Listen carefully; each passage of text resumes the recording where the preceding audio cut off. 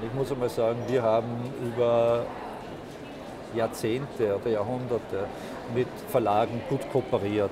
Uns geht es darum, dass es äh, gute Verlage gibt, dass die Verlage auch Geld verdienen, dass Verlage eben Literatur publizieren können, die wertvoll ist. Das ist auch im Sinne der Bibliotheken, da wollen wir Verlage unterstützen.